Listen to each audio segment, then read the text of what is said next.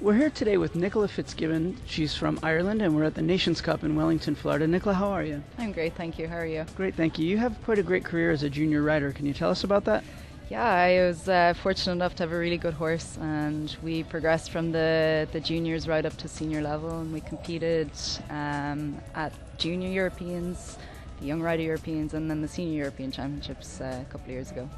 So you're really great also at developing horses. How's that going?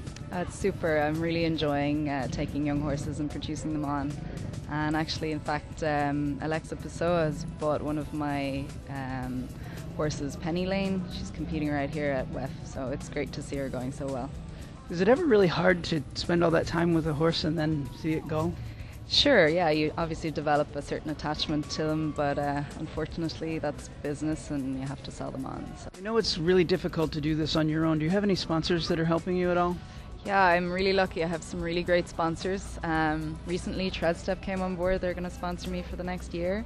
Also, another couple of companies that are out in WEF, um, Horseware Ireland, they've been a big supporter of mine, um, Antares, and also um, an Irish bedding company called Comfy Bed, and a supplement company called Equistro. They've all uh, come on board to sponsor me for the next year. That's good. It does make things easier, doesn't it? It really does, and I really appreciate their support and their generosity.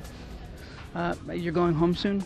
So yeah, I'm going home tomorrow. This is my last day at the show, and I've had a really great three months doing a lot of training and stuff. So I've, uh, I've learned a lot, and I'm hoping to bring that back to Ireland with me. Yeah, and when you get home, what are your plans?